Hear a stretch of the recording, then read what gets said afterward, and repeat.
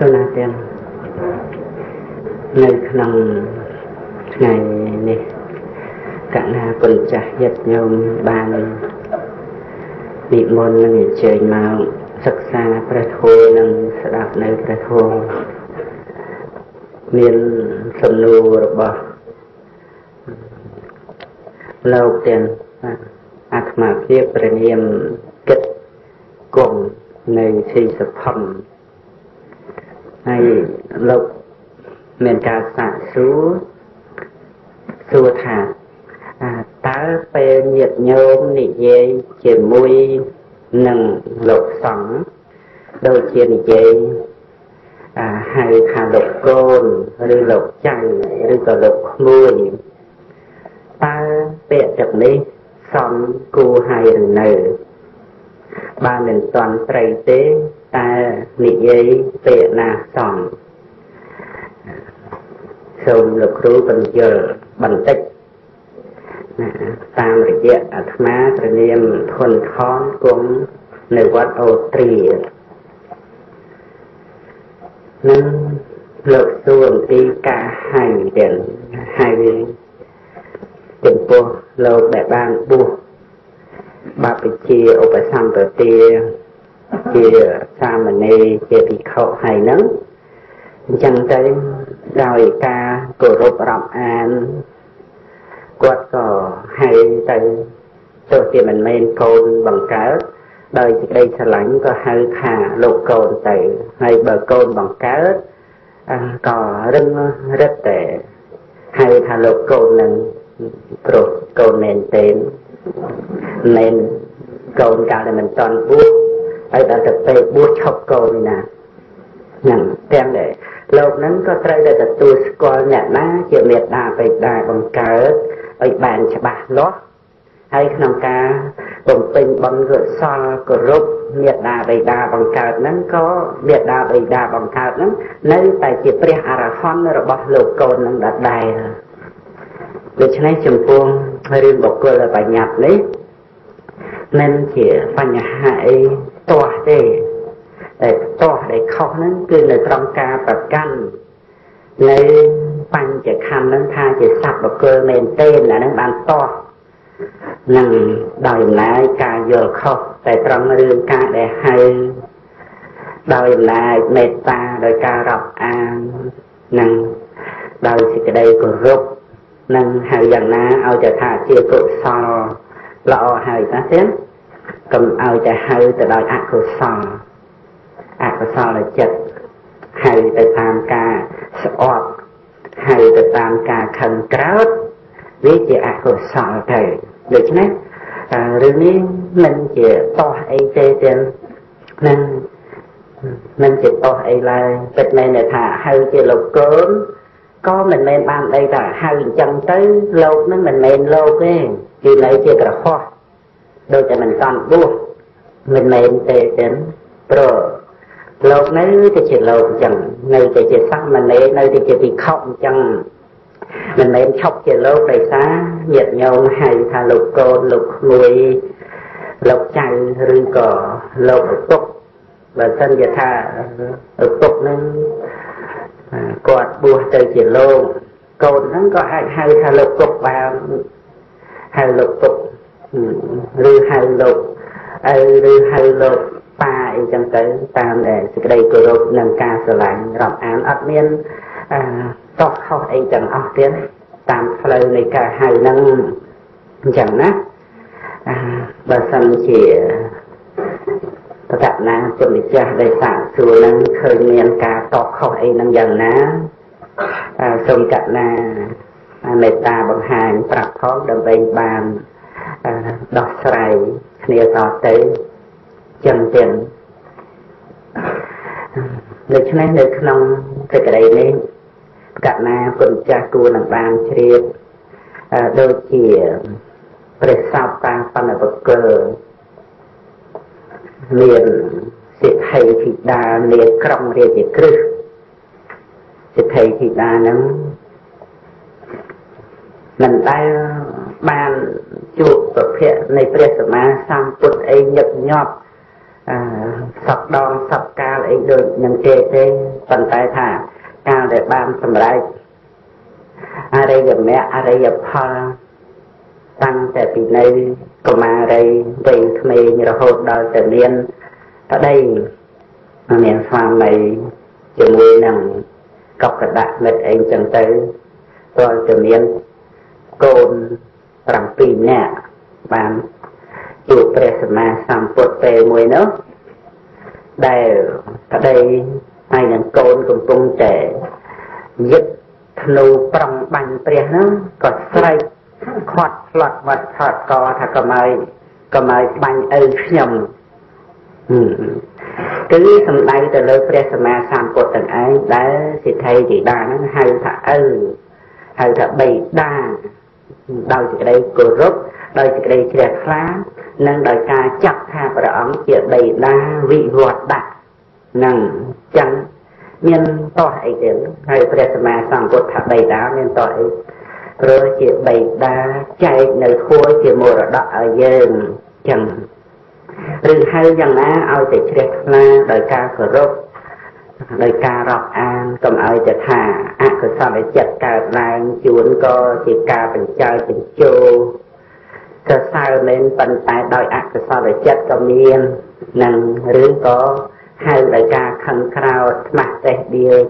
ថារុសវាចាយ៉ាងណាក៏មានអានឹងវាជាអកុសលយ៉ាងទាំងដូច្នេះនៅក្នុងថ្ងៃនឹងខ្ញុំព្រះអង្គម្ចាស់ សូមបានឱកាសនមស្ការថ្វាយបង្គំចំពោះព្រះរតនត្រ័យគឺព្រះពុទ្ធរតនៈព្រះធម្មរតនៈនិងព្រះសង្ឃរតនៈដោយសេចក្តីគោរពដ៏ពងខ្ពស់និងសូមនមស្ការថ្វាយបង្គំចំពោះព្រះសង្ឃគ្រប់ព្រះអង្គទាំងអស់ដែលនិមន្តមកនៅក្នុងទីនេះនិង ដែលបានស្ដាប់នៅព្រះធម៌ឬសំឡេងព្រះធម៌គ្រប់ពេលវេលានិងសូមគោរពចំពោះញាតិញោមបងប្អូនគ្រប់គ្នាដែលមានសទ្ធាជ្រះថ្លាដើម្បីស្ដាប់នៅព្រះធម៌រៀនព្រះធម៌ដែលបង្ហាត់បង្រៀនដោយលោកគ្រូបងនៅធម៌ព្រះអភិធម្មដើម្បីឲ្យបានយល់អំពីសេចក្តីពិតនៃជីវិត ដែលប្រព្រឹត្តទៅដោយធัวជាអនត្តាមិនចំពោះថាធัวជាកុសលមិនចំពោះថាធัวជាអកុសលនឹងឬថាជាអព្យាក្រឹតខ្ញុំកណាខ្ញុំបាទសូមជ្រះថ្លាអនុមោទនាដល់ការស្ដាប់ការសិក្សានិងការងារជាបុណ្យជាកុសលគ្រប់យ៉ាងទាំងអស់របស់គុណចាស់និងញាតិញោមតម្លៃនៃជីវិតមនុស្សយើងនេះ ថ្លៃណាស់ទៅដែលមានកំណើតបានកើតមកជាមនុស្សឈ្មោះថាជាការបានលេបលៀបដល់ប្រសើរពងខ្ពស់នឹងមិនអាចដើម្បីថាយកសម្បត្តិមនុស្សដែលមានតម្លៃហ្នឹងទៅដូរយកអ្វីៗដែលថោកថោកនឹងរបស់ថោកថោកក្នុងលោកនឹងដោយលៀបសការៈ ឬទៅដោយកាមគុណយ៉ាងណាគឺព្រះអរិយបុគ្គលចាត់ថាជារបស់ថោកជារបស់អសារៈមិនមានខ្លឹមសារហើយក៏មិនអាចបានជាទីពឹងនៅក្នុងរបស់នឹងឡើយចឹងម្ល៉េះហើយជីវិតដែលបានកើតមកជាមនុស្សជារបស់មានតម្លៃដូច្នេះ ត្រូវអាស្រ័យរបស់មានតម្លៃនឹងឯងដើម្បីដូរយកនៅរបស់ដែលមានតម្លៃបំណាច់នឹងថាថ្ងៃខែដែលបានអស់ទៅម្យ៉ាងដោយការសន្សំចម្រើននៅបុណ្យកុសលហើយម្យ៉ាងជាការប្រព្រឹត្តនៅព្រះមច្ចរិយធម៌ដើម្បីចិញ្ចាអំពីសង្ខារធម៌ដែលពោពេញទៅដោយ របស់ដែលមិនទៀងហើយនឹងសុភាពហើយច្របូកច្របល់វឹកវរដោយសង្ខារធម៌កណាគុណម្ចាស់ញាតិញោមបងប្អូនជ្រាបហើយដូចជាថាមានដុំពេជ្រដែលមានតម្លៃឬកែវមณีឬកែវអីអីដែលមិនងាយនឹងកាត់ផថ្លៃបាននោះរបស់ទាំងអស់គេមិនមែនយកទៅដូរសម្រាមឬក៏ជា របស់ថោកថោកទាំងឡាយផ្សេងផ្សេងនឹងគឺគេយកនៅមាសប្រាក់កែកងទាំងអស់នោះដើម្បីដូរនឹងរបស់ដ៏មានតម្លៃតម្លៃយ៉ាងណាសេចក្តីឧបមានេះក៏ដើម្បីបញ្ជាក់អំពីជីវិតមនុស្សយើងដែលមានតម្លៃគឺកបដីមានការ ប្រព្រឹត្តនៅព្រះនិច្ចរិយធម៌ដោយសារថាការតតាំងច្បាំងតស៊ូប្រយុទ្ធជាមួយគ្នានឹងកិលេសលោភៈទោសៈមោហៈក្នុងជីវិតរាល់ថ្ងៃដែលវាជាមីដែលវាជាគ្រឿងបំផ្លាញដល់ព្រះមច្ចរិយធម៌នាំទៅរកទុកដោយជាតិជារាមរណៈហ្នឹងគឺច្បាំងដោយព្រះមច្ចរិយធម៌ហ្នឹងតស៊ូ ដោយសេចក្តីជាជាហ្នឹងគឺសំនឹងជីវិតដ៏មានតម្លៃនឹងចឹងទាំងដូច្នេះកាលណាបើយើងផ្លេចឬពុំបានពិចារណាឲ្យបានជ្រាបនៃសេចក្តីក្នុងជីវិតដ៏មានតម្លៃទេក៏មកតែអស់ទៅអស់ទៅទៅទេអស់ទៅចោលទៅដូចថាមានមាសមានប្រាក់មានមាសមានប្រាក់ច្រើនសន្ធឹកសន្ធាប់ រវល់តែកប់ទុកចោលពុំបានដើម្បីប្រើប្រាស់ចាយវាយបរិភោគ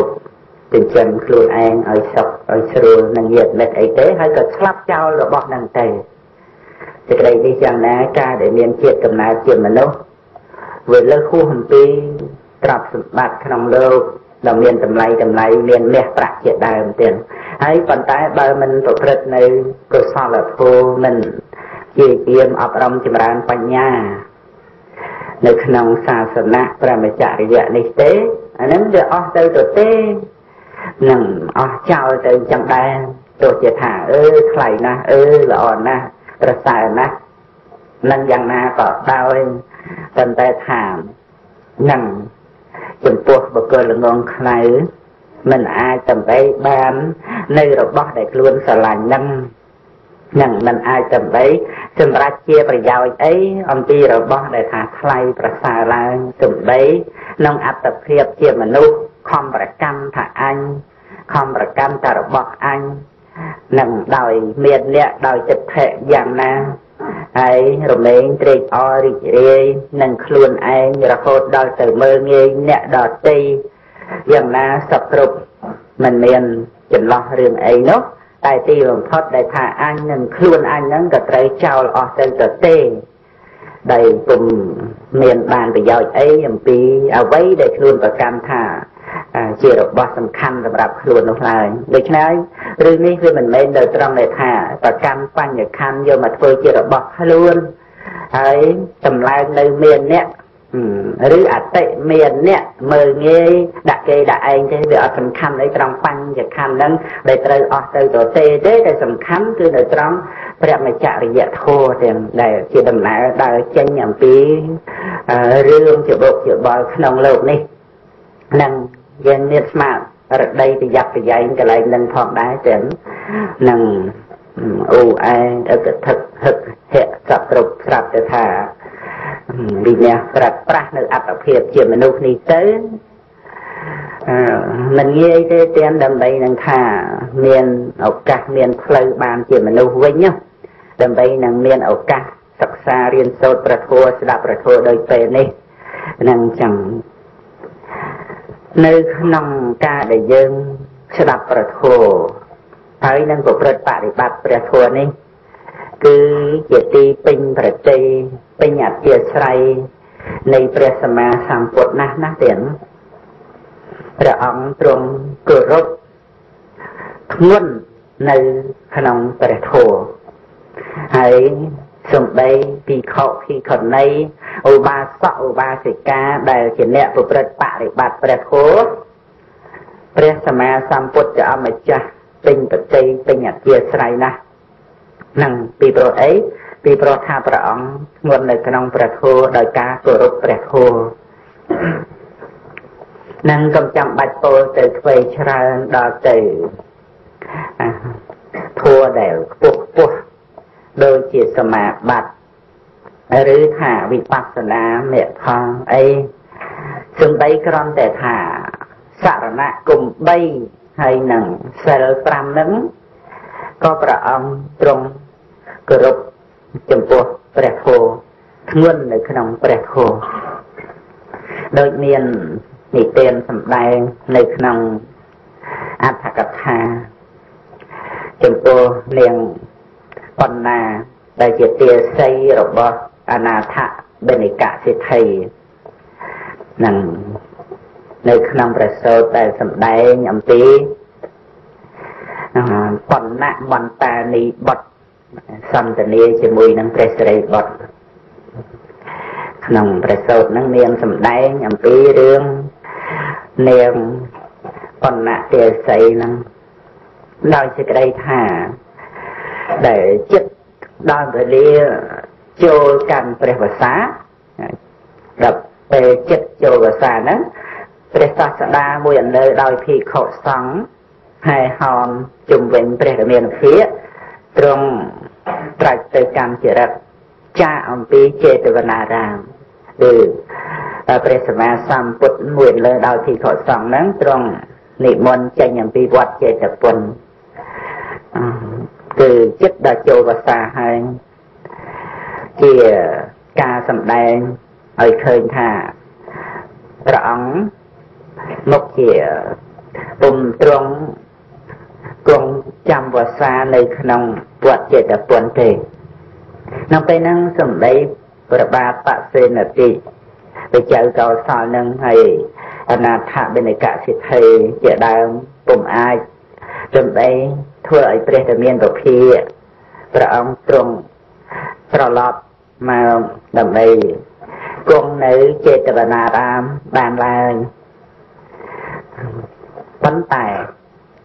សេចក្តីនេះការដែលអនាថបិនិកសិទ្ធិគាត់ខូចចិត្តគាត់ក្រៀមក្រំចិត្តពិតមែនតែគាត់ជាសោតាបណ្ឌបកុលពិតពិតមែនតែគាត់ជាព្រះអរិយបុគ្គលថ្នាក់សោតាប៉ុន្តែថាសេចក្តីជ្រះថ្លាក្នុងព្រះដ៏មានវិភាកដែលជាកុសលហ្នឹងអាចជាឧបនិស្សយបច្ច័យនៃអកុសលបាននៅឡើយទាំងចឹង គឺសេចក្តីជ្រះថ្លានឹងព្រះដ៏មានវិភាកហ្នឹងយ៉ាងណាគឺក្នុងការដែលថា បានគោរពថ្វាយបង្គំព្រះអង្គបានស្ដាប់ធម៌របស់ព្រះអង្គបានថ្វាយចង្ហាន់ព្រះអង្គនិងភេសជ្ជៈយ៉ាងណាយ៉ាងណានឹងដោយសេចក្តីជ្រះថ្លាប៉ុន្តែដល់ទៅថាការដែលព្រះអង្គទ្រង់ចរិតចេញចាកពីចេតវនារាមក៏ខូចចិត្តហ្នឹងដោយអីដោយថាកុសលហ្នឹងជាទីអាស្រ័យដ៏មានកម្លាំង គឺឧបនិស្សយបច្ច័យហ្នឹងឲ្យកើតជាអកុសលគឺតោមនោះខ្លាំងខ្នាក់បដិខេតអាហ្នឹងជាបច្ច័យអញ្ចឹងនៅពេលហ្នឹងគាត់មានមុខជ្រុកនឹងសញ្ជប់សញ្ជឹងមិនសបាយមិនញញឹមមិនញញែមទេនៅពេលហ្នឹងឯងដែលនាងបណ្ណៈទាស័យហ្នឹងអាស្រ័យសេចក្តីយ៉ាងណា បានទៅជួបលោកម្ចាស់ចវាយហើយក៏សួរថាលោកអំថ្ងៃនេះដូចជាមិនសប្បាយចិត្ត មុខមិនស្រស់សោះថាអើធ្វើម៉េចយើងស្រស់ដល់ព្រះរាមានុភានិមន្តស្ដេចយាងចេញទៅមួយលើដោយភិក្ខុសង្ឃធ្វើម៉េចនឹងយើងបានថ្វាយបង្គំព្រះអង្គស្ដាប់ធម៌ព្រះអង្គហើយបានថ្វាយចង្ហាន់ដល់ព្រះអង្គទៀតនឹងនាងបណ្ណទាស័យហ្នឹងក៏និយាយស្ដីច្បាស់លាស់ជាមួយនឹងលោកម្ចាស់ចវាយគឺ លោកអនាថបិនិកសិទ្ធិនឹងថាលោកអង្គសេចក្តីនេះទុកឲ្យខ្ញុំខ្ញុំនឹងអារតនេនិមន្តព្រះដ៏មានភិក្ខនឹងឲ្យព្រះអង្គវិលត្រឡប់មកវិញលោកលោកសេដ្ឋីនឹងគាត់តំណងជាមិនមិនប្រកបវិជាអីក្នុងចិត្តទេតែគាត់អំបើព្រះរាជា អីសិទ្ធិដតីដតីអីមានគាត់អីហ្នឹងជាដើមមិនអាចធ្វើព្រះរាជភិឲ្យគង់ចាំប្រសានៅចេតវនារាមហ្នឹងអីមកនាងទាស័យហ្នឹងរ៉ាំអញ្ចឹងគាត់ក៏ថាបណ្ដោយដែរថាបើនាងឯងអរតនីព្រះរាមានុភាឲ្យវិលត្រឡប់មកចេតវនារាមវិញយើងឲ្យនាងឯងធ្វើជាអ្នកជីចាប់ឲ្យធ្វើខ្ញុំខ្ញុំបំរើចាប់ឲ្យធ្វើជាទាស័យអានាងបណ្ណៈទាស័យ ដោយសេចក្តីឆ្លាតវៀងវៃឧបនិស្ស័យមានមកក៏បានធ្វើដំណើរដោយបញ្ញាប់បញ្ញារូតរះតាមព្រះរាមាភិទ្រង់ស្ដេចយាងចេញទៅថ្មីថ្មីហ្នឹងក៏បានតន់ព្រះអង្គនៅតាមផ្លូវក្រាបថ្វាយបង្គំព្រះរាមាភិហើយក៏ទូលរតនាព្រះអង្គថាសូមព្រះអង្គទ្រង់ស្ដេចយាងត្រឡប់ទៅកម្មចេតវនារាមវិញព្រះរាមាភិព្រះអង្គ មានព្រះពុទ្ធរិកាថាម្នានាងបណ្ណៈនាងអាស្រ័យអ្នកដតីដើម្បីចិញ្ចឹមជីវិតនាងមានអ្វីឲ្យចំពោះតថាគតនឹងនឹងព្រះធមេនុភាពប្រពហេតុហ្នឹងអង្គទ្រង់ត្រាស់សួរអញ្ចឹងថានាងចិញ្ចឹមជីវិតខ្លួនឯងដោយសារតែអ្នកដតី បានដីថាវាអត់មានស្អីដើម្បីជាសការៈអមិសៈបច្ច័យ4អីដើម្បីនឹងថាអរតនីនិមន្តព្រះរាមានុភិឲ្យគង់ចាំព្រះវសានៅចេតវនារាមដើម្បីបវារណាបច្ច័យ4ដើម្បីជំនុំរងពីខសង្ឃនោះណាវាអត់មានអញ្ចឹងព្រះអង្គសួររឿងហ្នឹងសួរថានាងឲ្យអីដល់តថាគតដែលមកអរតនីតថាគតឲ្យត្រឡប់ទៅកាន់ចេតវនារាមវិញក្នុងវសាហ្នឹងនាងប៉ុណ្ណា ក្រាបទូលបបិទ្ធព្រះអង្គដ៏ចម្រើនខ្ញុំព្រះអង្គមិនមាននៅអមិសៈលៀបតការៈបច្ច័យ4ឡើយដោយតែព្រះអង្គទ្រង់ជ្រាបស្រាប់ហើយប៉ុន្តែបើសិនជាព្រះរាមាភិទ្រង់ស្ដេចពេលត្រឡប់ទៅវិញនោះខ្ញុំព្រះអង្គម្ចាស់នឹងបានដល់នៅសរណគមដីគឺបានដល់ព្រះពុទ្ធព្រះធម៌ព្រះសង្ឃជាទីពឹងទីរលឹកនៃខ្ញុំម្ចាស់ហើយខ្ញុំម្ចាស់ នឹងរក្សានៅនិច្ចសិលជានិច្ចកាលតទៅ បានតែប៉ុណ្ណឹងឯងស្វ័យព្រះព្រះធមានភាពបានប្រទាននៅពួរសិក្សាទៅការទៀត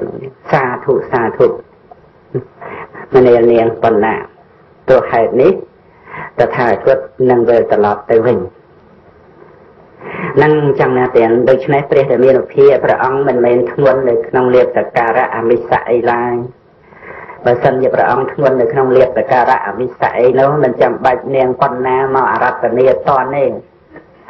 បាទបសេនតិកោសលលោកសិទ្ធិសន្ធឹកសន្ធាប់មានលោកអនាថបិនអីហ្នឹងចឹងប៉ុន្តែរឿងនេះព្រះអង្គធ្ងន់នៅក្នុងធម្មៈទៀត ធ្ងន់នៅក្នុងការប្រព្រឹត្តធម៌ធ្ងន់នៅក្នុងការបដិបត្តិធម៌សំដីទៅថានាងបណ្ណានេះដែលថារាប់ដើម្បីដល់នៅពុទ្ធពុទ្ធប្រសង្ឃជាសរណៈហើយនឹងរក្សានៅសិល5តទៅប៉ុណ្ណឹងព្រះអង្គជាស្ដេចនៃអ្នកប្រាជ្ញទៀតជាអគ្គបុគ្គលលើលោកព្រះអង្គទ្រង់និមន្តទ្រង់ស្ដេចយើងត្រឡប់មកកាន់វត្តចេតពុនវិញប៉ុណ្ណឹង អនាថបិនគាត់ភ្ញាក់គាត់ដែរយកអស្ចារគាត់គាត់មិនមែនត្រឹមតែឲ្យនាងប៉ុណ្ណានឹងបានរួចអំពីនាងទេសីឲ្យទៅជាអ្នកជាទេគាត់ចាត់ទុកនាងទេសីនឹងជាធីតារបស់គាត់ជាកូនរបស់គាត់ទៀតអស់កូនស្រីគាត់ហ្នឹងចឹងហើយនាងប៉ុណ្ណានឹងដែលមានឱកាស ចឹងហើយមានឱកាសរួចពីទេសីណាតែចឹងអាចដើម្បីសុំលោកសិទ្ធិនឹងទៅបួសលោកសិទ្ធិអនុញ្ញាតដើម្បីឲ្យនាងបណៈនឹងទៅបួសក្នុងសំណាក់ភិក្ខុនីហើយការដែលប្រព្រឹត្តបរិបត្តិធម៌យ៉ាងណាយ៉ាងណានៅក្នុងព្រះសាសនាបំពេញឧបនិស្ស័យដែលមានក្នុងពេលនោះព្រះរាមានុភាព្រះអង្គទ្រង់ត្រាស់ចំពោះនាងបណ្ណៈនឹងថាចូលនាង ធ្វើនៅព្រះសទ្ធំឲ្យពេញដូចជាប្រចាំពេញវងក្នុងថ្ងៃពេញបរមីនាងនឹងរួចផុតចាក់ទុកដោយការបរិបូរនៃបញ្ញានឹងព្រះធម៌ទេសនាប៉ុណ្ណឹងដែលធ្វើឲ្យព្រះនាងបណ្ណៈបានបន្លុះនៅមេផលចន្ទខ្ពស់អស់អាសវៈកិលេសទៅទៀត នឹងចឹងអស់អាសវៈកិលេសនេះចំពោះការដែលព្រះអរិយវិភាព្រះអង្គធ្ងន់នៅក្នុងព្រះធម៌ណាទៀតបីដូចជាសត្វពលិមាននុកនឹងដែលចេញអំពីផ្ទះលះបង់អ្វីៗទាំងអស់ព្រមតែចេញបសម្រាប់អ្នកបុះហើយនឹងបាតដីហើយ ដោយអាស្រ័យថាការបួសនេះឧទ្ទិសចំពោះព្រះអង្គដើម្បីឲ្យរួចផុតចាកទុក្ខទ្រង់ស្ដេចយាង3គីវុតទៀត12គីឡូចេញអំពីវត្តវេលវ័នដើម្បីទទួលនៅព្រះកសបៈថេរៈនេះនេះគឺងាយដែរទៀតណាព្រះសម្មាសម្ពុទ្ធទ្រង់ស្ដេចយាងយាងដោយព្រះបាទ 12គីឡូម៉ែត្រដើម្បីមកទទួលនៅទឹកពលិមាននៅនឹងទទួលនេះគឺមិនមែនបានអីថាព្រះអង្គគោរពបុគ្គលទេតាមពិតគឺអាស្រ័យការដែលព្រះអង្គទ្រង់គោរពព្រះធម៌ធន់ក្នុងធម៌ហ្នឹងដូច្នេះបុគ្គលដែលជាអ្នកប្រព្រឹត្តបដិបត្តិនៅព្រះធម៌គឺជាទីពេញបតិពេញអធិស្រ័យរបស់ព្រះសម្មាសម្ពុទ្ធ ព្រោះតែព្រះអង្គទ្រង់គោរពព្រះធម៌ធ្ងន់នៅក្នុងព្រះធម៌នឹងឯងចឹងណាប្រកាសណាគុណម្ចាស់ញាតិញោមសំដីក្នុងពេលនេះដែលព្រះសម្មាសម្ពុទ្ធបរិនិព្វានទៅអស់កាលដែលយូរអង្វែងហើយក៏ដោយក៏អាចតម្ដីជ្រាបថាក្នុងការប្រព្រឹត្តបរិបត្តិនៅព្រះធម៌ក៏ជាញាតិរបស់ព្រះសម្មាសម្ពុទ្ធនឹងគួរជាទីពេញតតិពេញអធិស្ឋ័យរបស់ព្រះអង្គ ហ្នឹងដូច្នេះនៅក្នុងពេលនេះខ្ញុំបកណាខ្ញុំបាននឹងសម្ដែងនៅប្រវត្តិនៃអេតតកៈទីខុមួយអង្គទៀត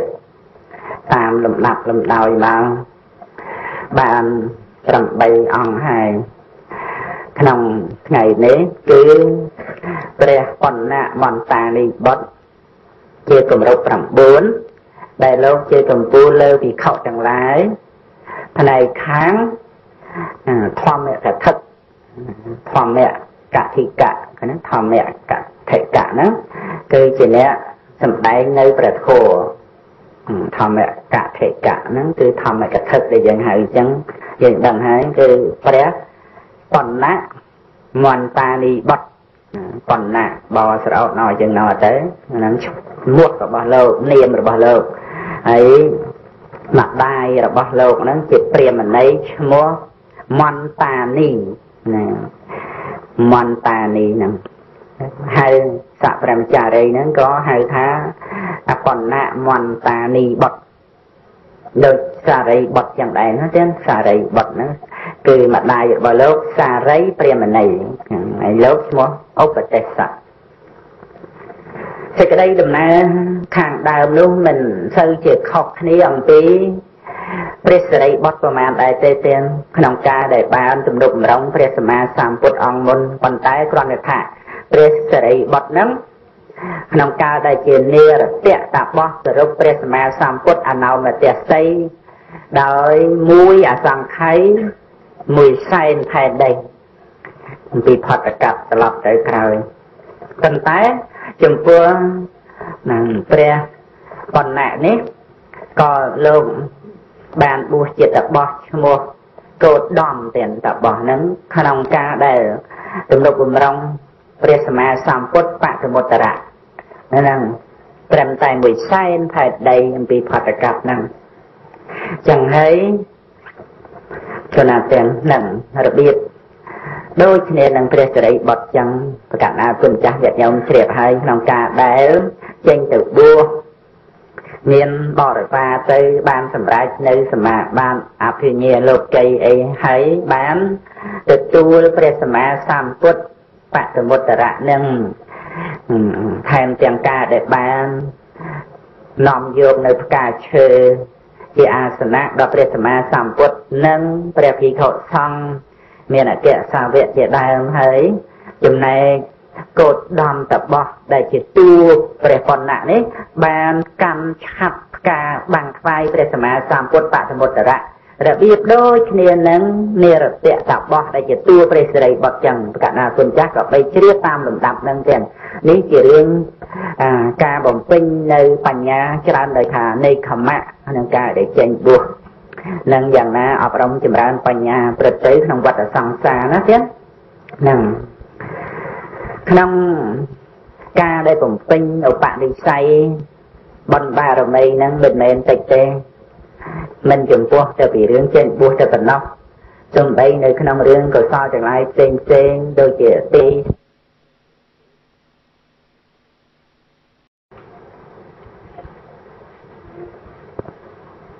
គណៈកិននឹងបន្តទៅនៅក្នុងឯកតកៈរបស់ព្រះកណ្ណៈមន្តានីបតទាំងមន្តានីមោណូយ៉ាងតស្រអាណូអាណូណោស្អីទេមន្តានៃបតណាមន្តានៃបតនឹងក្នុងសាសនានៃព្រះសម្មាសម្ពុទ្ធបតមុត្តរៈ អាព្រះសម្មាសម្ពុទ្ធបតមុត្តរៈនោះយើងស្ដាប់ទៅគឺថានឹងបានឮព្រះនាមរបស់ព្រះអង្គនឹងឮព្រះនាមរបស់ព្រះអង្គនឹងញឹកញាប់ណាស់ពីព្រោះក្នុងការដែលព្យាករអេតតកៈបកុលមួយសែនកាប់មួយសែនកាប់ហ្នឹងគឺក្នុងសាសនាព្រះសម្មាសម្ពុទ្ធបតមុត្តរៈនេះឯងដែលផ្ដើមក្នុងការព្យាករទេនឹងច្រើនចឹង ទំបីព្រះបរមពោធិសត្វដែលជាបរមគ្រូនៃយើងព្រះសម្មាគោដំទេក្នុងការនោះព្រះអង្គសោយប្រជាជាព្រះរាជាដែរនៅក្នុងមហារដ្ឋគឺរដ្ឋមួយដ៏ធំហើយទ្រង់ប្រណិមថាជាដេលៈបានធ្វើនៅមហាទានដ៏ធំធេងហើយថ្វាយនៅជ័យវរ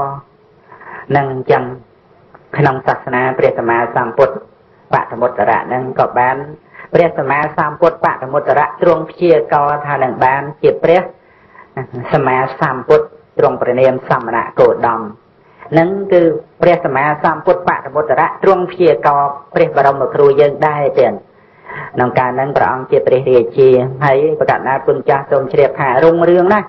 ក្នុងសាសនាព្រះសម្មាសម្ពុទ្ធបតមុត្តរៈនឹងអត់មានពួកនេះគ្រុនអន្តរថៃទេទៀតក្នុងសម័យហ្នឹងគឺ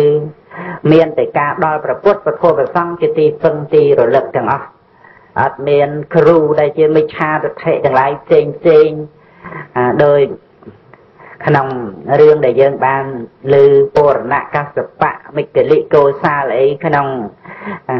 ចំនួននៃព្រះសម្មាសម្ពុទ្ធបរមគ្រូយើងនេះព្រះសម្មាគោដំនិងព្រះសម្មាសម្ពុទ្ធ អង្គផ្សេងផ្សេងទៀតហ្នឹងគឺមានពួកនិក្រណលេរភ័យមានលទ្ធិតតិមិឆាទិដ្ឋិផ្សេងផ្សេងអីហ្នឹងមានសិស្សមានគុណទៅសន្ធប់តែក្នុងសាសនាព្រះសម្មាសម្ពុទ្ធបតុមុត្តរៈអត់មានពួកនិក្រណលេរភ័យគ្រូបាអាចារ្យដែលជាមិឆាទិដ្ឋិដតីដតីអីទេគឺសត្វតែជាពុទ្ធបរិស័ទទាំងនឹងបានដល់សារណគមគឺព្រះពុទ្ធព្រះធម៌ព្រះសង្ឃនឹងចឹង ហើយនឹងគ្រាន់តែប្រកាសណាគុណម្ចាស់នឹងបានជ្រាបប្រវត្តិនៃព្រះសិរីបុត្រដែលក្នុងការនោះជានិរតៈតាបោះនឹងយ៉ាងណាជាមួយនឹងព្រះសម្មាសម្ពុទ្ធអនោមតិស័យសេចក្តីនឹងដូចគ្នាទៀតព្រះកោតដំតបោះដែលជាតួព្រះបណ្ណៈក្នុងសាសនាព្រះសម្មាសម្ពុទ្ធបតុវត្តរៈនឹងបានបំពេញរបៀបដូចគ្នាដែលកូនសិស្សបានសម្រេច ជាព្រះរហន្តអស់ទៅនៅតែលោកលោកនឹងបានស្ដាប់នៅប្រធัวដែលព្រះភិក្ខុមួយអង្គដែលកំពូលលើភិក្ខុទាំងឡាយផ្នែកខាងធម្មកថាសម្ដែងធัวហ្នឹងលោកមានអធិស្រ័យមានឧបនិស្ស័យចំណូលចូលចិត្តពេញអធិស្រ័យនឹងភិក្ខុហ្នឹងម្ល៉េះហើយក៏មិនអាចដើម្បីបានសម្រេចជាព្រះអរហន្តបានអ្នកបានផលឯដូចជាកូនសិស្សទេអញ្ចឹងហើយ ក្រោយមកក៏បានមានសេចក្តីប្រាថ្នាដើម្បីឲ្យបាន ជាភិក្ខុដែលមានតំណែងហ្នឹងតំណែងកម្ពូលលើភិក្ខុទាំងឡាយហ្នឹងផ្នែកខាងធម្មកថាហ្នឹងចឹងក៏ជាប់ឧបនិស្ស័យនឹងរហូតបំពេញបុណ្យបារមីមករហូតដល់ទៅក្នុងសាសនាបជាស្រីព្រះសមណៈគោដំបរមគ្រូនៃយើងមិនមានរៀបរាប់អីច្រើនទេ គ្រាន់តែជាការសម្ដែងបញ្ជាក់នៅក្នុងជាតិចុងក្រោយរបស់លោកដើម្បីកណ្ដាគុណម្ចាស់ញាតិញោមបងប្អូនស្រីប្រុសនឹងបានស្គាល់លោកបានចិត្តដិតនឹងលោកដោយការបានស្ដាប់ប្រវត្តិរបស់លោកគឺในជាតិចុងក្រោយហ្នឹងលោកបានកើតនៅក្នុងសកជនបទទៀតនៅក្នុងជនបទនៃដែនសកៈហ្នឹងក៏ ចាត់ថាជាមេត្តភូមិហ្នឹងគឺរួមជាមួយនឹងព្រះសម្មាសម្ពុទ្ធដែរហ្នឹងព្រោះថាការដែលនៅក្នុងសកជនបទហ្នឹងដែលមានទីក្រុងឈ្មោះថាកបិលផោះហ្នឹងចឹងក្នុងនគរកបិលផោះហ្នឹងព្រះបរមគ្រូព្រះអង្គក៏បានបដិសន្ធិដែលជា បុត្ររបស់ព្រះបាទសិរីសធោតតនៈនិងព្រះនាងសិរិមហានីជាហើយក្នុងជនបទនៃនគរណែកបិលផោះក្នុងជនបទនៃដែនសក្កៈហ្នឹងតូនវត្ថុតូនក្រៀមហ្នឹងគឺបណ្ណៈហ្នឹងលោកបដិសន្ធិក្នុងព្រាមណៈមហាសាលនេះអ្នកមានសម្បត្តិស្ដុកស្រំច្រើនហើយ ម្ដាយឈ្មោះមន្តានីនឹងចឹងត្រូវជាក្មួយបង្កើតរបស់អញ្ញាកំដញ្ញៈទៀតអញ្ញាកំដញ្ញៈហ្នឹងជាអ៊ំជាអ៊ំរបស់ព្រះបណ្ដាហ្នឹងចឹងលោកនៅក្នុងមាតុភូមិរបស់លោកនឹងក៏បានបួសបានឧបសម្បទាហើយនឹងប្រព្រឹត្ត អប់រំចម្រើនវិបស្សនាភាវនាគឺការចម្រើននៅបញ្ញាទីបំផុតក៏បានសម្រេចទៅជាព្រះរហន្តតាមឧបនិស្ស័យរបស់លោកគឺលោកមានអធិស្រ័យនៅក្នុងរឿងសេចក្តីប្រាថ្នាតិចហើយបើសម្ដែងធัวដល់សកព្រះមចារីភិក្ខុដតីហ្នឹងក៏សម្ដែងអំពីការប្រាថ្នាតិចហ្នឹងដែរ ហើយលោកមានអធិស្រ័យនៅក្នុងសេចក្តីសន្តោសហើយសម្ដែងដល់សកព្រះមចារីក៏តែពីរឿងសេចក្តីសន្តោសដែរហើយលោកមានអធិស្រ័យនៅក្នុងវិវេកដោយកាយវិវេកដោយចិត្តវិវេកដោយឧបធិវិវេកនឹងចឹងទៅលោកសំដែងធัวក៏នៅក្នុងកាយវិវេកស្ងាត់កាយនិងចិត្តវិវេកគឺការស្ងាត់ចិត្ត និងឧបធិវិវេកគឺព្រះនិព្វាននឹងសំដែងទៅអញ្ចឹងទៅហើយអាលោកក៏មានអធិស្រ័យនៅក្នុងការដែលមិនជាប់ជំពាក់ដោយពួកដោយកណៈគឺការមិនត្រេកអរដោយលោភៈព្រោះថាលោកសន្សំអធិស្រ័យឧបនិស្ស័យមកហើយថែមទាំងការដែលលោកអស់តណ្ហានឹងទៅទៀតនោះ ក៏មិនអាចដើម្បី មានសង្សកៈអីនៅក្នុងពុគណៈនៅក្នុងរូបសម្លេង ឬក៏នៅក្នុងអ្វីអ្វីដែលនាំឲ្យមានការប្រព្រឹត្តទៅនៅក្នុងការច្បុកច្បល់នោះនឹងហើយលោកក៏សម្ដែងដល់ស័កព្រះមចារីអំពីការមិនច្របូកច្របល់ការមិនច្បុកច្បល់ដោយរូបសម្លេង ដោយការបរិភោគមិនច្បុកច្បល់ដោយការចរចាមិនច្បុកច្បល់ដោយកាយសម្ផស្សអីហ្នឹងយ៉ាងណាគឺការដែលមិនតម្រេកនៅក្នុងនឹកនៅក្នុងរូបសម្លេងនៅក្នុងការកាយសម្ផស្សក្នុងការបរិភោគក្នុងការចរចាអីហ្នឹងចឹងលោកសំដែងចឹងហើយលោកមានអធិស្រ័យនៅក្នុងសេចក្តីជាយាមហើយក៏សំដែងនៅប្រធัวដស័កព្រះមចារីដោយសេចក្តីជាយាម លោកមានអធិស្រ័យនៅក្នុងសិលក្នុងសមាធិក្នុងបញ្ញាសម្ដែងព្រះធម៌ក៏នៅក្នុងសិលសមាធិបញ្ញា មានអធិស្រ័យនៅក្នុងវិមុតវិមុតញ្ញាណទស្សនៈក៏សម្ដែងព្រះធម៌ដល់ស័កព្រះមចារីអំពីវិមុតគឺការរួចផុតបានដល់អរិយផលហើយនឹងវិមុតញ្ញាណទស្សនៈគឺ បញ្ញាដែលបានដឹងពីការរួចផុតនឹងបានដល់បច្ចវេខណៈញាណនឹងអញ្ចឹងលោកសំដែងនៅក្នុងព្រះធម៌មិនឆ្ងាយអំពីកថាវត្ថុ10យ៉ាងនឹងទេអញ្ចឹងនៅក្នុងពេលវេលាមួយ ដែលព្រះដែលមានភាកទ្រង់គង់នៅវត្តវេលវ័នជាវត្តមួយនៅចិត្តក្រុងរាជក្រឹសហ្នឹងក្នុងកាលនោះ ពួកស័កព្រះមចារីដែលជាកូនសិស្សរបស់ព្រះបណ្ណៈហ្នឹងក៏បាននិមន្តមកគាល់ព្រះដ៏មានរុភាថ្វាយបង្គំព្រះដ៏មានរុភាព្រះដ៏មានរុភាមានព្រះពុទ្ធដីកាសំណេះសំណាលគ្រាន់ជាទីរលឹកចំពោះភិក្ខុទាំងឡាយដែលជាអ្នកប្រព្រឹត្តបដិបត្តិព្រះធម៌ហើយ ក្នុងការដែលព្រះអង្គទ្រង់សាកសួរដល់អ្នកប្រព្រឹត្តបដិបត្តិព្រះធម៌នោះក៏ព្រះអង្គទ្រង់សាកសួរថាតើភិក្ខុណាដែលស័កព្រះមចារីបានសរសើរថាជាអ្នកមានសេចក្តីប្រាថ្នាតិចឬសេចក្តីសន្តោសដោយខ្លួនឯងហើយហើយមានកថាវត្ថុដល់ស័កព្រះមចារីទាំងឡាយក្នុងការនោះភិក្ខុទាំងឡាយក៏បានពោលសរសើរដល់ព្រះបណ្ណៈមន្តានីបុត្រនេះឯង គឺសរសើរដោយសេចក្តីពេញចិត្តសរសើរដោយសេចក្តីជ្រះថ្លាថាលោកនឹងតាំងនៅដោយការប្រាថ្នាតិចដោយសេចក្តីសន្តោសដោយវិវេកធัวជាដើមនឹងហើយតែងតែទូមានព្រានប្រដៅនៅស័កព្រះមចារីភិក្ខុទាំងឡាយផងគ្នានឹងឲ្យតាំងនៅក្នុងធัวទាំងអស់ហ្នឹងអញ្ចឹងទៅក្នុងការនោះព្រះធម្មសេនាបតីព្រះសិរីបុត្រ បានឮពីខទាំងឡាយពោលសរសើរព្រះប៉ុណ្ណាអញ្ចឹងក៏នឹកឃើញថាអស្ចារ្យណាស់លោកដ៏មានអាយុដែលស័កព្រះមចារីពោលសរសើរចំពោះព្រះភ័ក្ត្រនៃព្រះដ៏មានវិភាកថែមទាំងព្រះដ៏មានវិភាកក៏មានប្រតិអនុមោទនីចំពោះព្រះបណ្ណៈនឹងអញ្ចឹងយើងនឹងបានជួបនៅក្នុងសមាគមឬនឹងបានសន្ទនាធัว ជាមួយគ្នាយ៉ាងណានៅមានការបំណងដើម្បីនឹងបានជួបនៅព្រះបណ្ណៈនឹងណាទាំងព្រះស្រីបុត្រហ្នឹងដល់កាលសម័យដ៏សំគូព្រះដ៏មានវិភាទ្រង់ស្ដេចយាងចេញចាអំពីវត្តពេលវ័នហ្នឹងទៅកាន់ចេតវនារាមចិត្តក្រុងសាវត្ថីក្នុងការដែលព្រះបណ្ណៈមន្តាលីបុត្របានជ្រាបថាព្រះដ៏មានវិភាទ្រង់ស្ដេចយាងមក ដល់ក្រុងសាវត្ថីអញ្ចឹង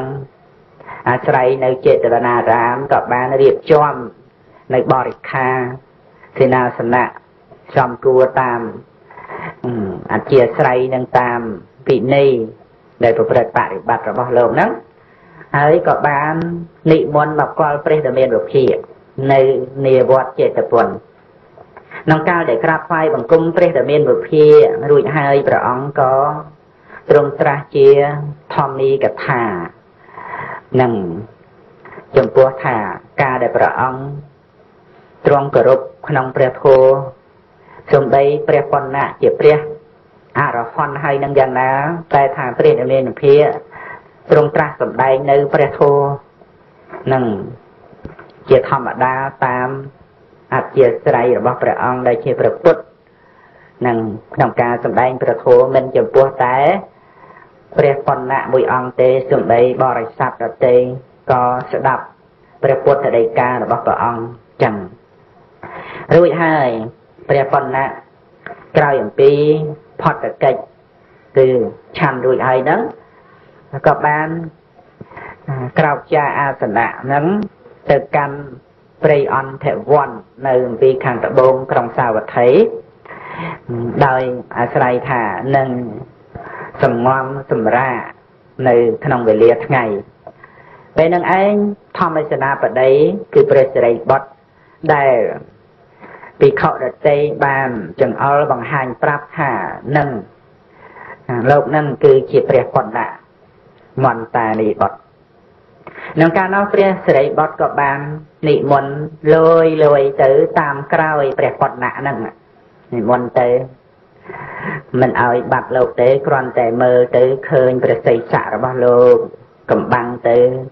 ព្រៃខ្លះឈើខ្លះអីឃើញលោកចឹងទៅគង់នៅក្រោមដើមឈើមួយព្រះសិរីបុត្រក៏គង់នៅក្រោមដើមឈើមួយដែរ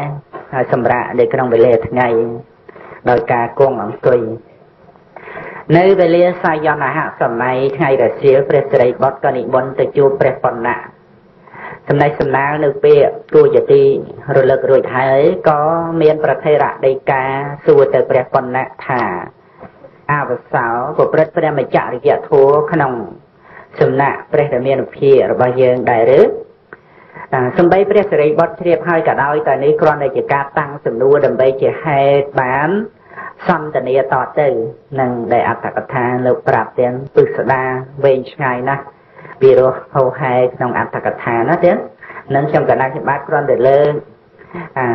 ចំណុចចំណុចសំខាន់សំខាន់ដើម្បីកណ្ដាលពុទ្ធម្ចាស់បានជ្រះថ្លានឹងព្រះបណ្ណៈហើយបានស្គាល់លោកដែលជាមហាសាវកក្នុងព្រះពុទ្ធសាសនាយើងនេះនឹង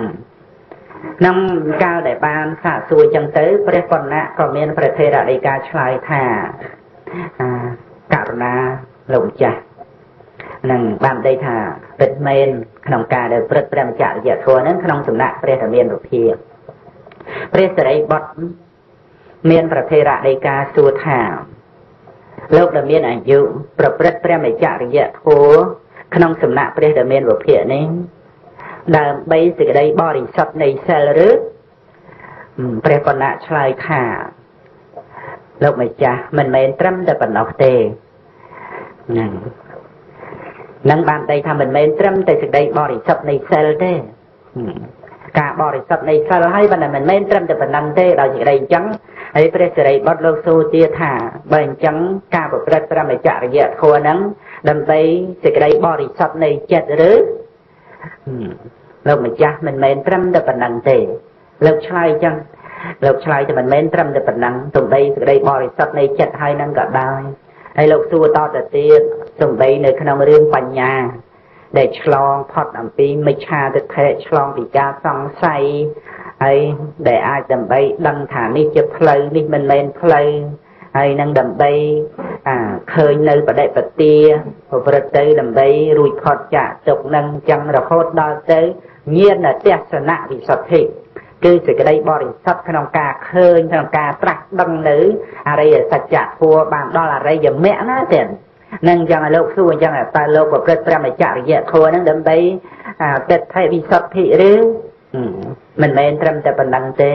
លោកម្ចាស់អញ្ចឹងដើម្បីកាំងខាវិករណវិសុទ្ធិឬថាមិនមែនត្រឹមតែប៉ុណ្ណឹងដែរ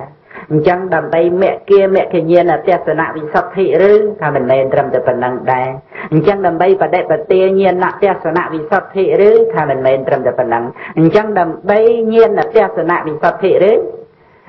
អរិយមគ្គណាទៀតញាណទស្សនៈគឺថាជាការឃើញដោយបញ្ញាក្នុងការដែលត្រាស់ដឹងអរិយសច្ចធម៌ហ្នឹងថាមិនមែនត្រឹមតែប៉ុណ្ណឹងដែរអញ្ចឹង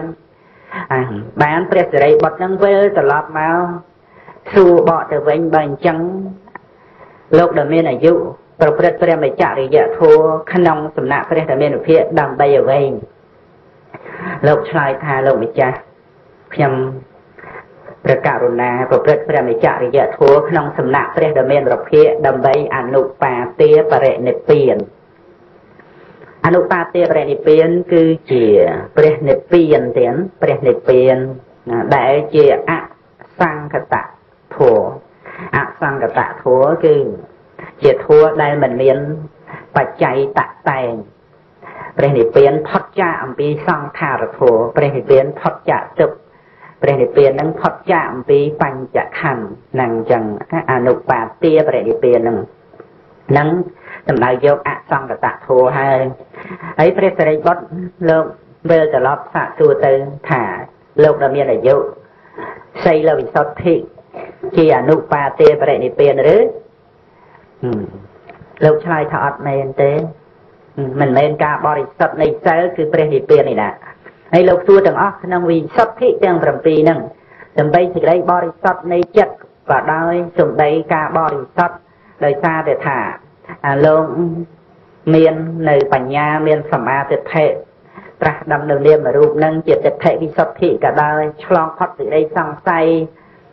ជាកង្ខាវិតរណវិសុទ្ធិនឹងអញ្ចឹងលោកសួរទាំងអស់ទៅអញ្ចឹងមគ្គមគ្គញ្ញាណទស្សនវិសុទ្ធិគឺសេចក្តីបរិសុទ្ធដោយបញ្ញាឃើញថានេះ ជាផ្លូវទៅកាន់ទីរំលត់ទុកនេះមិនមែនផ្លូវទេ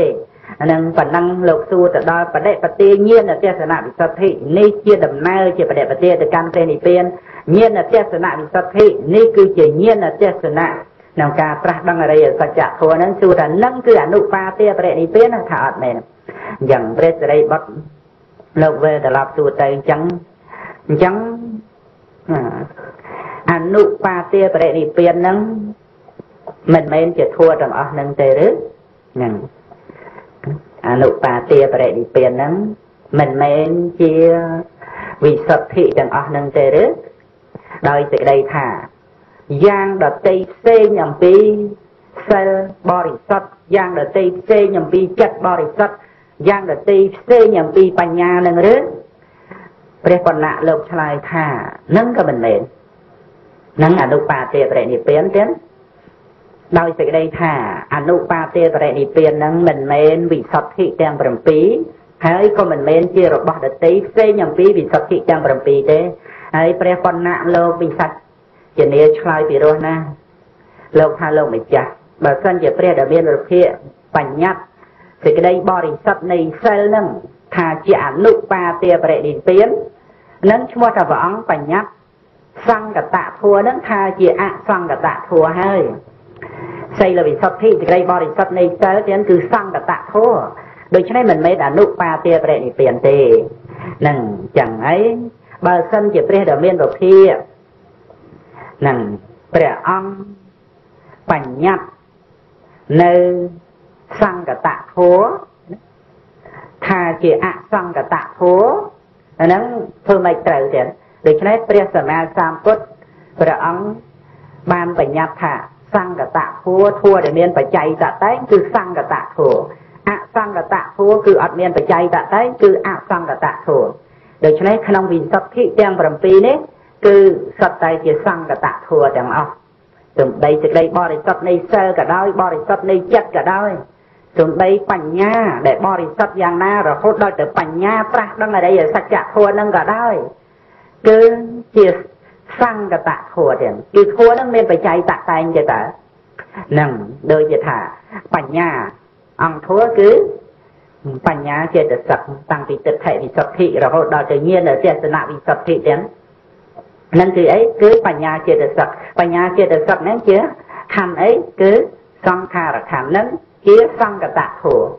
នឹងបើសិនជាញាណទេសនៈហ្នឹងគឺអនុបាទេបរិនិព្វានហ្នឹងឈ្មោះថាព្រះដ៏មានរភិព្រះអង្គបញ្ញត្តិសង្កតធัวណាដែលញាណទេសនៈហ្នឹងថាជាអសង្កតធัวហើយហ្នឹងអញ្ចឹងដូច្នេះបានដេកថាមិនមែនទេហើយបើសិនជាអនុបាទាបរិនិព្វានហ្នឹងយ៉ាងដតីផ្សេងអំពីវិសុទ្ធិ សេចក្តីបរិសុទ្ធទាំង7ហ្នឹងបឋុជនឈ្មោះថាបាននិព្វានហើយអាហ្នឹងបើសិនជាអនុបាទេបរិនិព្វានផ្សេងអំពីធัว7ហ្នឹងពីព្រោះបឋុជនអត់មានវិសុទ្ធិទាំង7ហ្នឹងបើអញ្ចឹងបើសិនជាព្រះនិព្វានផ្សេងអំពីវិសុទ្ធិទាំង7ហ្នឹងបឋុជនឈ្មោះថាបាននិព្វានហ្នឹងអញ្ចឹងដែលបឋិជនមែនទែនទៅដែលជាល្ងងខ្លៅមិនទាំងមាន នៅសិលផងនោះនឹងចឹងដូច្នេះសេចក្តីនេះព្រះបណ្ណៈក៏បានរៀបរាប់អธิបាយប្រកេនព្រះសិរីបុត្រអំពីអនុបាទិបរិនិព្វាននឹងបន្តទៅថាដូចជាព្រះបាទបសេនតិកោសលធ្វើដំណើរចេញអំពីក្រុងសាវត្ថីទៅកណ្ដគួសាកេតអញ្ចឹងតាមដំណើរផ្លូវត្រូវរៀបចំទៅដោយរថព្រះទីនាំង7ចេញអំពីក្រុងសាវត្ថីទៅ ដោយឡើងរថទី1ទៅដល់រថទី2ហើយក៏លះបង់រថទី1ឡើងទៅកាន់រថព្រះជីនាងទី2ហើយទៅដល់ព្រះជីនាងទី3ចិត្តទៅលះបង់ហើយឡើងបន្តទៅទៅព្រះជីនាងទី4ចោលព្រះជីនាងទី4ទៅទៅព្រះជីនាងទី5ចោលព្រះជីនាងទី5ទៀតទៅព្រះជីនាងទី6ហើយចោលព្រះជានាងទី6នឹងទៀតទៅឡើងទៅព្រះជានាងទី7ហើយបានចោលព្រះជានាងទី7នឹងទៅទៀតបានដល់នៅព្រះ នគរមួយគឺនគរសាកេតនឹងអញ្ចឹងក្នុងការដែលព្រះបណ្ណៈឧបមាសេចក្តីយ៉ាងនេះក៏ជាការបញ្ជាក់ឲ្យឃើញថាចំពោះព្រះរាជាក្នុងសេចក្តីឧបមានេះប្រៀបបីដូចជាបុគ្គលដែលនៅជាមួយនឹងជាតិជារាមរណៈ នឹងការដែលបុគ្គលមានជាតិជារាមរណៈគឺដូចជាព្រះរាជាក្នុងសេរីឧបមាអញ្ចឹងហើយក្នុងសាវត្ថីឧបមាដូចជាសកាយៈនគរគឺឧបាទានខណ្ឌ5អញ្ចឹងហើយនគរសាកេតដូចជាព្រះនិព្វានក្នុងដំណើរដែលធ្វើដំណើរទៅកាន់ព្រះនិព្វានគឺតាមលំដាប់នៃវិសុទ្ធិទាំង7ហ្នឹងគឺសេចក្តីបរិសុទ្ធនៃសិលគឺមានប្រយោជន៍សម្រាប់សេចក្តីបរិសុទ្ធនៃចិត្ត ហើយសេចក្តីបរិសុទ្ធនៃចិត្តក៏មានប្រយោជន៍ដល់ទៅសេចក្តីបរិសុទ្ធនៃចិត្តថេគឺការយល់ត្រូវរហូតបន្តបន្តទៅសេចក្តីបរិសុទ្ធដោយញាណទស្សនៈហ្នឹងចឹងទីបំផុតនឹងឯងត្រូវលះបង់នៅសង្កតធัวទាំងអស់ទៅកម្មព្រះនិព្វានចឹងអត់អាចដើម្បីនៅក្នុងសង្កតធัวឯណានេះមួយឡើយក្នុងការដែលចូលកម្មផលសមាបត្តិមាននិព្វានជាអារម្មណ៍គឺជាដំណើរដែលលះបង់នៅសង្ខារធัวទាំងពួងទាំង នេះគឺជាជំរកជាទីពឹងជាទីពួនដែលបុគ្គលអាចកិច្ចផុតអំពីចរិយានិងមរណៈបាន គឺត្រូវតែណាពួននៅក្នុងនិរោធណាទៀតនឹងអញ្ចឹងប្រកាសណាគុណម្ចាស់ញាតិញោមបងប្អូនគឺថាការដែលអាចដើម្បីបាននៅនិរោធជាទីពឹងជាទីពួននេះគឺជាការសុខប្រសាមិនចាំបាច់មានសេចក្តីត្រូវការប្រាថ្នាសម្បត្តិក្នុងលោកនឹងយ៉ាងណាយ៉ាងណា គឺមានការប្រព្រឹត្តទៅល្មមតិច ច្រើនអីម្ដេចម្ដាគឺជាធម្មតានៃសង្ខាររូបនឹងក្មេងចាស់ជាឈឺណារស់នៅឬបែកធ្លាយអីម្ដេចម្ដាជាធម្មតានៃសង្ខារតែប្រកាសណាគុណម្ចាស់មិនខ្វាយខ្វល់មិនរវល់មិនជ្រុកមិននុកមិនសោកមិនសៅមិនហួងហែងនៅក្នុងសង្ខារគឺជាបកលធ្វើដំណើរយ៉ាងផុតស្រឡះទៅកាន់ព្រះនិព្វានដែលជានិរោធជាទីពឹងជាទីពួនក្នុងការដែលព្រះពុទ្ធណៈសម្ដែងយ៉ាងនេះហើយ ព្រះសិរីបុត្រនឹងក៏សួរថាលោកម្ចាស់ឈ្មោះអីស័កព្រះម្ចារីនឹងស្គាល់លោកយ៉ាងម៉េចដែរថាលោកម្ចាស់ខ្ញុំឈ្មោះប៉ុណ្ណាស័កព្រះម្ចារីស្គាល់ខ្ញុំប៉ុណ្ណានឹងថាប៉ុណ្ណាមន្តានីបុត្រព្រះសិរីបុត្រក៏សរសើរលោកថាអស្ចារ្យណាស់ចម្លែកណាស់ត្រង់ដែលសាវករបស់ព្រះរាមានុភានឹងបានយល់បានដឹងនៅពាក្យទូមានព្រានបដៅ របស់ព្រះសាស្តាហើយក៏ជាលៀបដល់ស័កព្រះមចារីទាំងឡាយដែលបានឃើញដែលបានជួបនៅបុគ្គលយ៉ាងនេះសូម្បីតែថាស័កព្រះមចារីនឹងឯងធ្វើរង្វេលដាក់ពីលើក្បាលហើយទូលនៅពិខុយ៉ាងនេះយ៉ាងណាក៏ដោយក៏ជាការល្អឲ្យតែបានឃើញបានជួបនៅស័កព្រះមចារីដែលមានបញ្ញា ឆ្លាតវៀងវៃពិចារណារឿយរឿយនៅកថាវត្ថុហើយអាចដើម្បីវិសច្ចនីឆ្លើយនៅបញ្ហាដ៏ជ្រាលជ្រៅយ៉ាងនេះបានទើបីស័កព្រះមេចារីដែលបានឃើញបានជួបនៅបកុលយ៉ាងនេះស័កព្រះមេចារីនោះឈ្មោះថាជាតិកំណើតកើតមកជាមនុស្សនឹងគឺកើតមកបានដោយល្អហើយ ព្រះសិរីបុត្រហ្នឹងមិនមែនសរសើរត្រឹមតែព្រះបណ្ណៈទេសរសើរដល់តែស័កព្រះមេចារីណាដែលបានមកឃើញមកជួបលោកទៅទៀតនោះថាកំណើតដែលកើតមកជាមនុស្សគឺបានដោយល្អណាស់ចឹងទៅព្រះបុណ្ណៈមន្តានីបុត្រហ្នឹងក៏សួរទៅព្រះសិរីបុត្រវិញថាលោកម្ចាស់ឈ្មោះអីហើយស័កព្រះម្ចារីស្គាល់លោកថាម៉េចដែរនឹងព្រះសិរីបុត្រក៏ឆ្លើយថាខ្ញុំកណាឈ្មោះឧបតិស័ក ស័កព្រះម្ចារីស្គាល់ថាសិរីបុត្រប្រពគ្រាន់តែលើប៉ុណ្ណឹងព្រះបណ្ណៈមន្តានីបុត្រក៏លន់ប្រអស់ថាពុទ្ធោហើយបើសិនជាខ្ញុំកណាបានដឹងលោកម្ចាស់ថាជាធម្មទេសនាបតីគឺព្រះសិរីបុត្រដែលទុកស្មើនឹងព្រះដ៏មានប្រភេទទៅហើយនោះម្លេះសំការវិសាជនាឆ្លើយរបស់ខ្ញុំម្ចាស់មិនបានច្បាស់យ៉ាងនេះទេ នឹងចឹងលោកមិនដឹងថាជាព្រះសិរីបុត្រឯណាដែលមកសួរបញ្ហាធัวហ្នឹងលោកឆ្លើយយ៉ាងច្បាស់ច្បាស់ចឹងទៅចឹងហើយបានសរសើរព្រះសិរីបុត្រតទៅទៀតទៀតនេះគឺជាការសរសើរដ៏ធំធេងណាសរសើរដែលថាទុកស្មើដូចជាព្រះដែលមានរូបភាពដែលហើយមាននៅក្នុងការសម្ដែងនៅធម្មចក្រកបវត្តនៈសូត្រសម្ដែងអរិយសច្ចធម៌អីហ្នឹងអញ្ចឹងណាទៀតនេះគ្រាន់តែជាការពោពាក្យសរសើរដ៏ពងពោះ ប៉ុន្តែថាឲ្យមានសាវកណាប្រើព្រះឲ្យមានសាវកណាស្មើនឹងព្រះដ៏មានរូបភាពនោះពុំមានទេប៉ុន្តែថានេះគឺថាជាការសរសើរដ៏ពងពោះនឹងបានសរសើរព្រះសិរីបុត្រដោយអនេកបរិយាយតទៅសរសើរដល់ទៅស័កព្រះមចារីណា ដែលបានឃើញបានជួបនៅព្រះធម្មសេនាបតីសិរីបុត្រនឹងទៅទៀតមហានាគទាំងពីរអង្គបានអនុមោទនានៅភាសិតដល់គ្នានឹងគ្នាសេចក្តីនៃប្រធោគួរឲ្យយើងជ្រះថ្លានឹងអនុមោទនាទៀត ដោយប្រពទៅលើសេចក្តីជំនាញហើយនៅឧបនិស្ស័យនៃព្រះកណ្ណៈមន្តានីបុត្រនេះព្រះដែលមានប្រភាព្រះអង្គទ្រង់ស្ថាបនាតែងតាំងព្រះកណ្ណៈនេះឯងឲ្យនៅក្នុងចំណែងលើវិខទាំងឡាយផ្នែកខាងធម្មកថាដោយសេចក្តីថាក្នុងការដែលលោកប្រព្រឹត្តនៅគុណធម៌របស់លោកឲ្យបានសម្រេច អស់អាសវៈកិលេសហើយលោកទូមានព្រានបដៅដល់ស័កព្រះមចារីដតីក្នុងសេចក្តីថាធ្វើសាសនាឲ្យមានការចម្រុងចម្រើននឹងធ្វើសាសនាឲ្យមានការចម្រុងចម្រើនទានប្រសើរប្រសើរជាងបុគ្គលដែលអស់អាសវៈកិលេសខ្លួនឯងហើយតែមិនអាចដើម្បីដឹកនាំអ្នកដទៃដើម្បីមិនថាទូមានអ្នកដទៃអត់បានគ្រាន់តែជាប្រយោជន៍ដើម្បីខ្លួនលោកអានឹងមិនអាចធ្វើព្រះសាសនាឲ្យចម្រុងចម្រើនតទៅទេណាទៀត ដូច្នេះក្នុងសេចក្តីនេះគឺព្រះបណ្ណៈនឹងលោកប្រព្រឹត្តទៅនៅក្នុងការដែលលោកប្រាថ្នាតិចមានកថាវត្ថុហើយ